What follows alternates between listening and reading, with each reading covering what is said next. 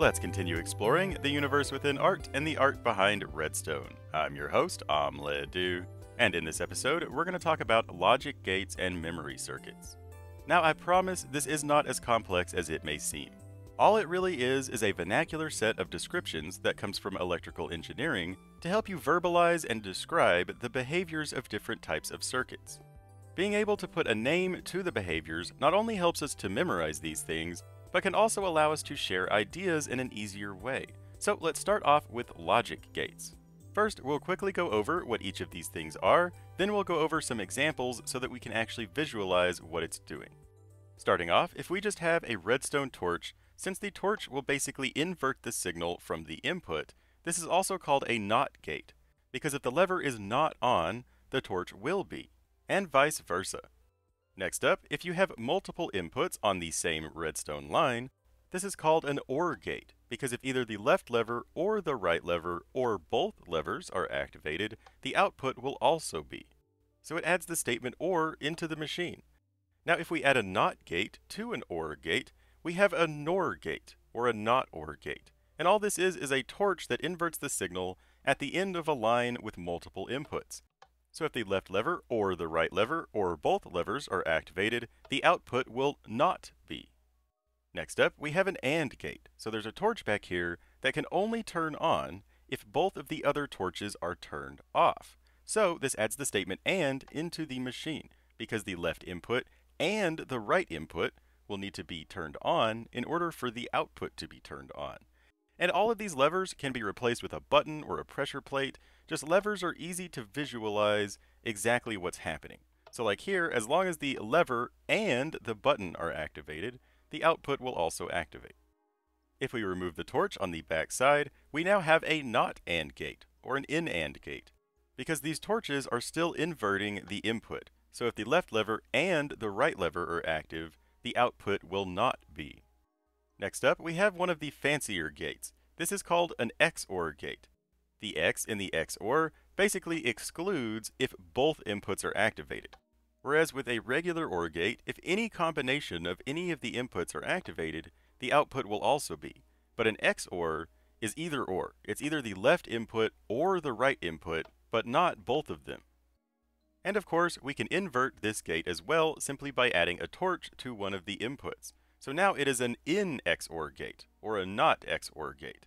This means that if either the left lever or the right lever are activated, then the output will not be but if both levers are turned on or turned off, then the output will be on.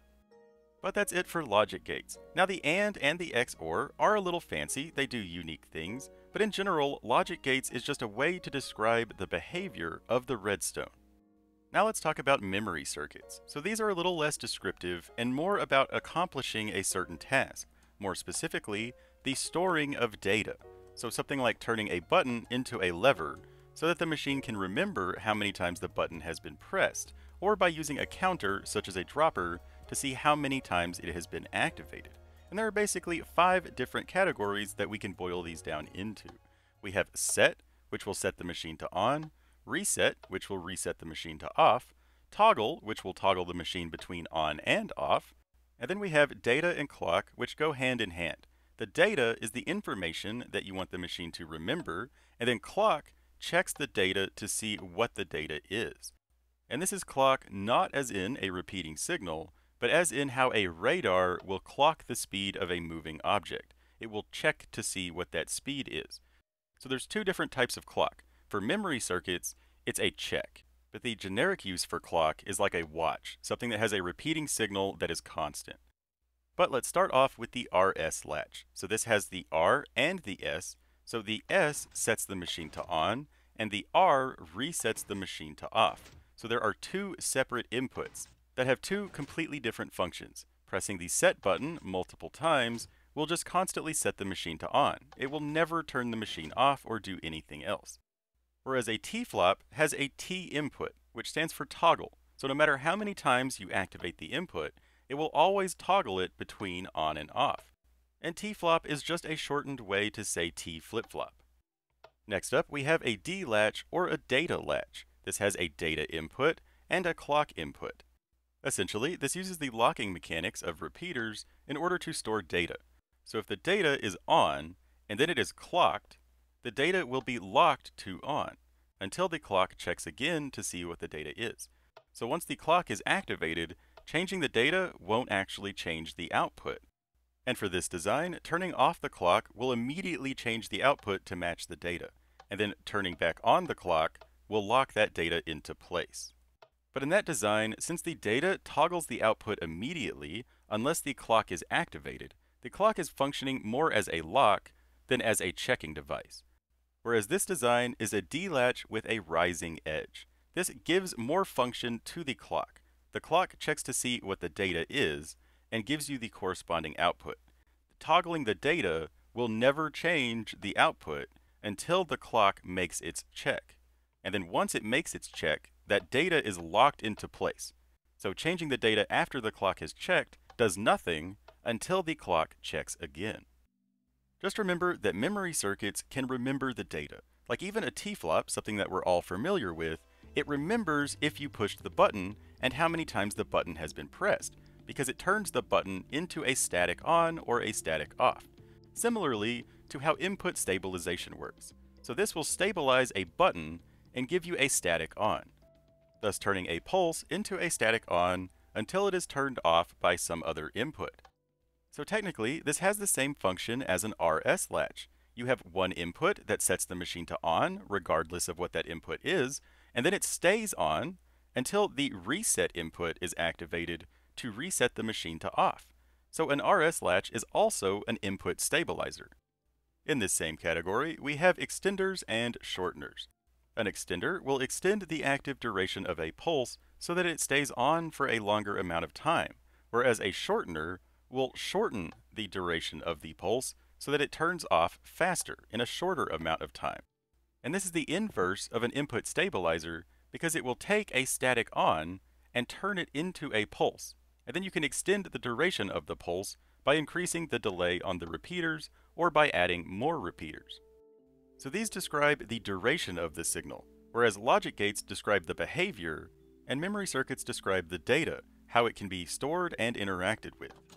But now onto some examples so that we can visualize what we've talked about. So if you have multiple inputs on the same line, this is an OR gate because the door will open if the left button or the right button or both are activated.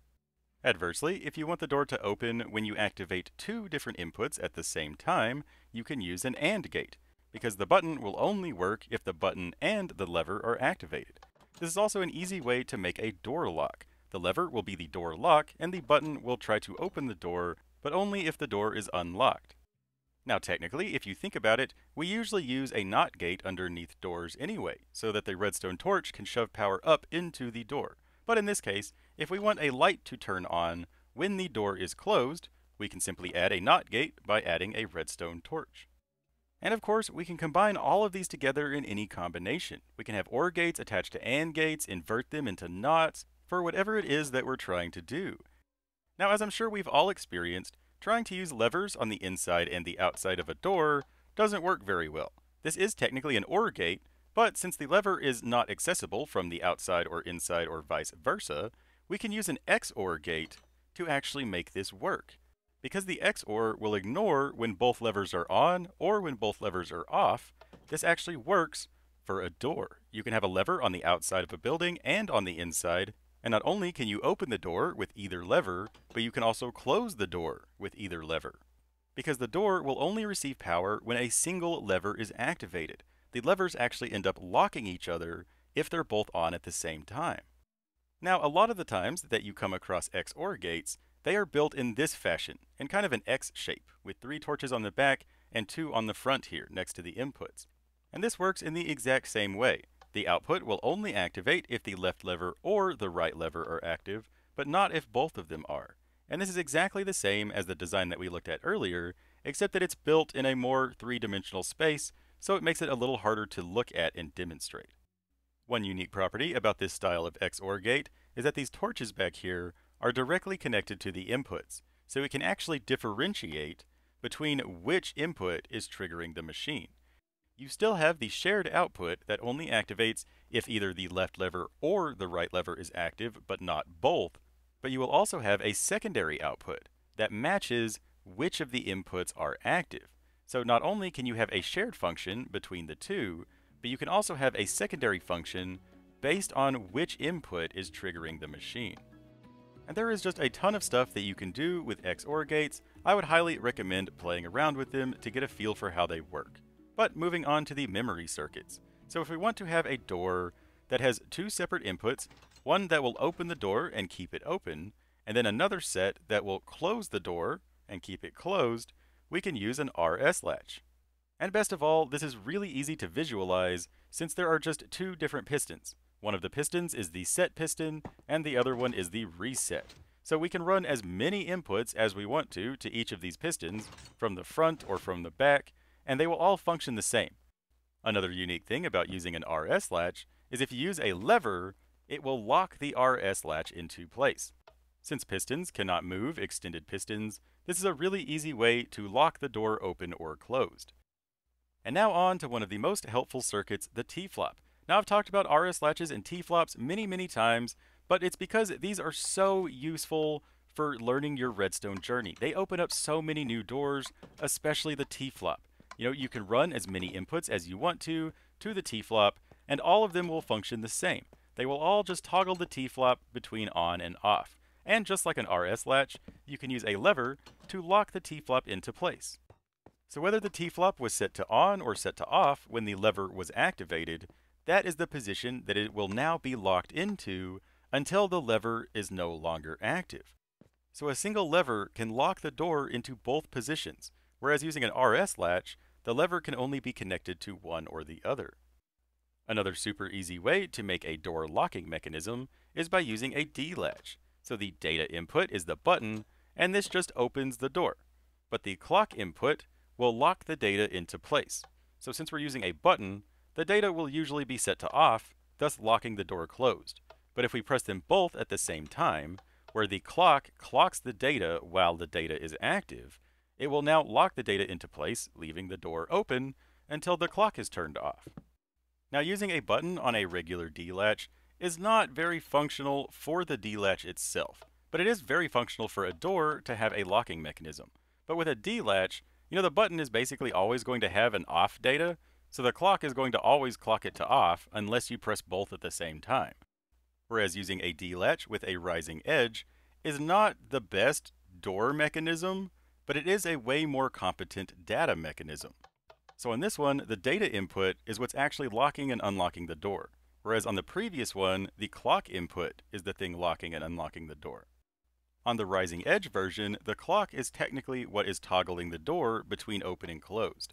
The data just predetermines if the door should be open or closed, but the door doesn't change until the clock checks the data. So really, using the rising edge as a door mechanism doesn't really work all that well because you would need access to the data and the clock input from both sides of the door. You know, but it's just nice to have an example that we can tell what is supposed to happen. But you can also have multiple inputs that are going to the clocking part. You know, as long as those inputs turn off that redstone torch, you can clock the data from anywhere that you want to. And there is another important D-latch to know that doesn't really work with the door at all. That's because this is a low-level D-latch that will retain the signal strength of the data. So this gold pressure plate is the data. So if we stand on it and we clock it, we can see that it locks the signal strength of the data into place. So because we're using a gold pressure plate, it only has a strength of 1. But if we throw more items onto the gold pressure plate, it will increase the signal strength of the data. Then if we turn off the clock, the output will then match the data, and then if we turn back on the clock, it will lock that data into place. So we still have a signal strength of 3 because the clock has clocked the data at a signal strength of 3. So this is a really interesting way to be able to save the signal strength of the data. But now let's go over some examples of counters. So these count the number of activations. So we have a dropper attached to a NOT gate, which is a redstone torch. So when the comparator is not active and the dropper is empty, the torch will turn on and activate the door. So in this case, we have three items in the dropper. So after three activations, the door will open. Now, of course, since this dropper is just pooping items into a chest, you would have to return those items by hand. But we can use hoppers to automatically return the items back into the dropper. So here we have a dropper that's going to require five activations. So also for this design, we need to lock the hopper so it doesn't move the items back into the dropper until we're ready. But same way, the dropper is connected to the output through a NOT gate, so when the comparator is not on, the output will be, and then we have a clock to just constantly ping the dropper. So after the dropper has been activated five times, we will receive an output. And then we can just unlock the hopper to reset the items back into the counter. So counters can count activations or they can count other things. And then to make them fully automatic, you can do something like this. So we still have a clock, we have a hopper, but this hopper is being locked by an RS latch. And the latch is being controlled by the dropper and the hopper. So the dropper becoming empty is what sets the machine to on, giving you an output. And then when the hopper is empty, that will reset the RS latch back to off, which will then lock the hopper again. So if we turn on the counter, we can see that after it counts the correct number of items, we will then receive an output activation. And then it will start draining the items back into the dropper, and it will start the counting process all over again. So this is an example of using an RS latch, two NOT gates, a clock, and a counter, all to achieve a specific type of activation. And this is why it can be really helpful to break all of these mechanics down into smaller named categories describing behavior, because you're not building one big complex machine, you're building it out of teeny tiny components. And last but not least, let's cover some examples that use the duration modifiers. So here we have a signal stabilizer that will take a pulse and turn it into a static on. So again, this is just like an RS latch. We have one button that sets the machine to on and leaves it on until the reset button is activated. So just like two pistons in a redstone block, this is technically an RS latch and vice versa. You know, activating the set will set the machine to on until you activate the reset to turn the machine off. And just like we mentioned with the RS latches, one benefit is that you can have as many inputs as you want to attached to the set and the reset. You know, any of the set inputs will turn the machine on and leave it on, and then any of the reset inputs will just turn the machine off. Now one difference between using comparators compared to pistons is that the comparators are doing this because they don't degrade the signal strength. So it creates a loop without ever degrading the signal strength. Whereas using a piston and a redstone block, it's more obvious what's happening because the piston is just physically moving the redstone block and the redstone block is just always active. And so to turn off the comparators, rather than physically moving an object, you have to subtract signal strength by sending a signal into the side of a subtraction mode comparator. And this is also how an extender works, is that the comparators are just slowly degrading the signal because there is a second dust coming out of one of the comparators. Now I've also been asked how you stabilize or extend a one-tick pulse, such as from an observer. Because using the traditional extender or stabilizer just doesn't work. You know, it just freaks out and ends up creating a clock. But all we have to do is add a repeater with at least a two-tick delay coming off of the one-tick input. And that will stabilize it so that you can then either extend it or just fully stabilize it into a static, depending on what you want. And so again, all we have to do is have a repeater on a two tick delay, and that will increase it to be long enough so that it doesn't freak out. And then if we want to stabilize this into an RS latch or to an output stabilizer, all we'd have to do is add an extra block so that both comparators are pointed into a block. And then to turn this off, of course, we need a subtraction mode comparator to run power to. And that's it. So just remember that all of this terminology is simply breaking down behaviors into its smallest forms and then labeling them with a name so that it's easier for you to remember. That way, whenever you're building something, you're not building this giant complicated machine all at the same time. You're actually building it out of teeny tiny individual components. So when you run into a problem, knowing some of this terminology or how some of these things work will give you simple solutions to complex problems, and not only that, but it will help you articulate and to visualize how to solve these problems.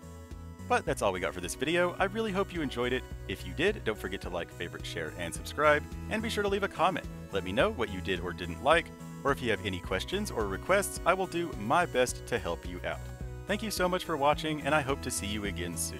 Until then, I've been your host, OmLedu, sharing a redstone trick or two, and reminding you, as always, don't forget to have fun. Bye bye.